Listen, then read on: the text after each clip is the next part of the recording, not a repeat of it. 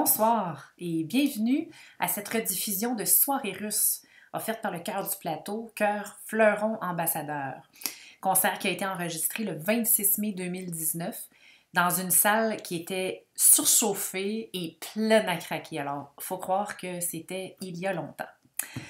Pour ma part, moi, je suis toujours hyper excitée par l'ambiance de l'avant-concert, parce qu'on entend les rumeurs de la salle qui se remplit tranquillement, on entend les gens manipuler le programme, discuter avec les amis avec qui sont venus entendre le concert, euh, faire signe aux gens à qui ils ont donné rendez-vous. Puis pendant ce temps-là, les choristes euh, qui souvent sont assez fébriles, euh, vont euh, s'étirer, blaguer entre eux. Il y en a d'autres qui vont vouloir revoir certains passages de leur partition. Bref, il y a une espèce de, de fébrilité, je l'ai dit, montante, juste avant qu'on sente qu'on va vivre un grand moment ensemble, un grand moment d'humanité. Et moi, juste me rappeler ces images, ça me fait sourire parce que ça me fait me souvenir de grands moments que j'ai vécus avec le cœur du plateau. Et euh, je pourrais dire que les, moments de la soirée russe occupent une place de prédilection dans mon cœur parce que c'est le dernier concert que le cœur du plateau a pu offrir avant que n'éclate la pandémie. Au fond, je vous dis ça parce que le concert, c'est une expérience humaine. C'est des gens qui se déplacent pour entendre d'autres personnes donner le meilleur d'eux-mêmes. C'est euh, se déplacer pour chercher à, vivre des émotions ensemble. Dans le fond, un concert, c'est comme une fête où on met le partage au centre du rassemblement. Et euh, je pense que la soirée russe, ça avait été une grande soirée. Ça avait été une soirée à l'image de ce qu'on est comme humains, qui avons besoin à la fois de recueillement, mais aussi de moments festifs. Et euh, comme l'un n'empêche pas l'autre, au contraire, c'est ce qu'offre cette soirée russe, puisque musique sacrée et musique profane se côtoient le plus naturellement du monde. Depuis toujours, la musique occupe une place très importante en Russie. Et euh, une des caractéristiques majeures qu'on retrouve dans la musique russe, c'est sa parenté avec l'art populaire. Euh, les chants traditionnels, en fait, dans les chants traditionnels, les rythmes qu'on y entend sont au fond les reflets de la prosodie de la langue, hein, la, langue russe. Cette langue qui exige une grande liberté. Donc la mélodie euh, a dû s'adapter à cette grande flexibilité-là. Ça fait que derrière des apparences rythmiques qui sont parfois complexes, les lignes mélodiques, elles, sont assez simples, sobres, on pourrait même dire austères. Et ces lignes-là vont faire penser au plein chant. Plein chant qui lui-même a influencé le chant populaire. À l'inverse, les chants orthodoxes russes ont énormément inspiré les compositeurs russes jusque dans leur musique profane. Les Vêpres opus 37, c'est le cœur du programme de ce soir. Des extraits de 15 mouvements des Vêpres seront présentés. On pourrait dire que c'est sans aucun doute le chef-d'œuvre ultime du répertoire de toute l'Église orthodoxe. Les Vêpres ont été écrites en 1915 assez rapidement dans des temps très troubles sur le plan, politique euh, à travers toute l'Europe. On est en pleine Première Guerre mondiale, euh, on est à l'aube de la Révolution russe. Bref, ça bouillonne et Rachmaninoff va être très affecté par ces troubles politiques et ça va se ressentir dans sa musique. On va aussi déceler l'influence du chant traditionnel russe, bien sûr, dans son œuvre, mais c'est quand même le caractère sacré qui domine euh, les Vêpres. Ce chef-d'œuvre, Les Vêpres de Rachmaninoff, soulève littéralement l'auditeur. Rachmaninoff nous conduit dans les profondeurs de l'âme humaine, cette âme humaine qui est inévitablement, un jour ou l'autre, confrontée au mystère de la création et à tout ce qui l'entoure. Et avec sa musique, Rachmaninoff va réussir à dépeindre de façon très émouvante cette rencontre. On va passer par une gamme de sentiments, l'attendrissement, la compassion, l'humilité et bien sûr l'amour.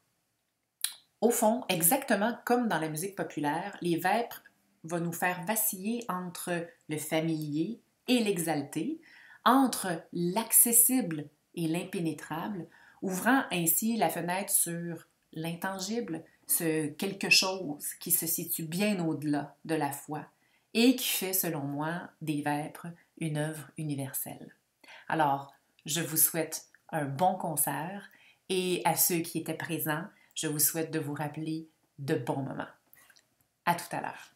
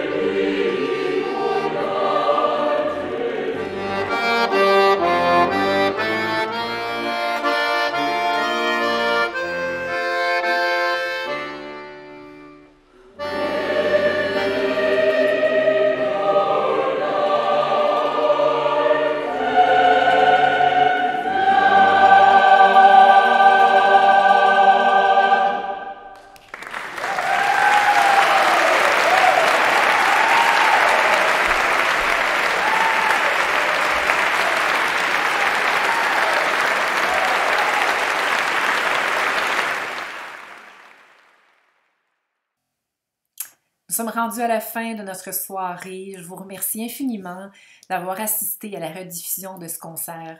Et je remercie au passage tous les choristes euh, anciens, actuels, futurs, de leur soutien, de leur amour de la musique et du chant choral.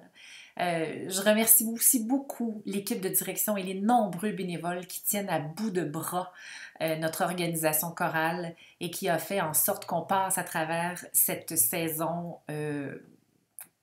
qu'on pourrait vraiment qualifier de difficile. Je vous remercie de nous soutenir, vous, les membres du public, parents, amis. C'est grâce à vous qu'on peut vivre des concerts et donc qu'on peut vivre de grandes émotions et de beaux moments. C'est important que vous soyez encore là quand tout reprendra son cours normal.